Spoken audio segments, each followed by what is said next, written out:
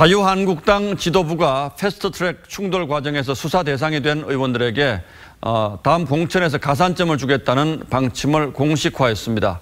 어, 당 안팎에서 비난이 쏟아지고 있습니다만 한국당 지도부는 아랑곳하지 않겠다는 입장입니다. 이태희 기자입니다. 한국당 황교안 대표는 패스트트랙 법안 상정을 막기 위해 몸싸움을 벌이다 수사 대상에 오른 의원들의 희생을 인정해줘야 한다고 말했습니다.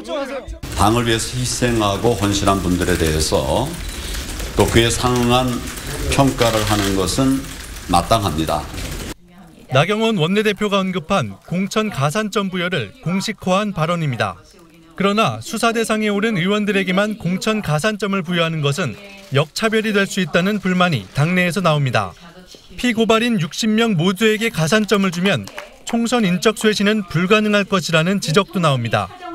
민주당도 법 위반을 조장하는 격이라며 강하게 비판했습니다. 농담으로 주고받기도 부끄러운 이야기가 아, 공당의 공식 입장이라는 것에 참으로 어처구니가 없고 어, 통탄스럽기 그지없습니다.